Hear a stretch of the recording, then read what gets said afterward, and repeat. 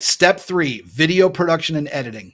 It has never been more exciting in the world of video production and editing than where we are right now. So here's a great example you do a 20 minute conversation right with somebody in your industry or field or somebody from your company what have you and how cool is it to be able to take that 20 minute conversation and cut it up into 8 10 12 15 clips both video and audio so that over the course of a month you now have content enough content to build awareness to establish your credibility in your industry and more importantly uh, communicate to your audience what it is that you do in little bite-sized pieces because we all know that's how we are consuming things now.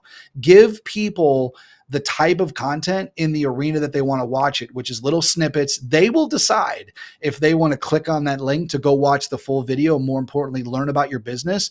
Do it in bite sized pieces. And so when I think about video production and editing, this is a crucial part of the marketing through conversations method because it takes long form conversation. You build the strategy, you have the interview, you capture it on video, you edit it in so many different ways that you can get it out to your audience and very, very exciting to be able to know that you have that awareness going out there on a monthly basis.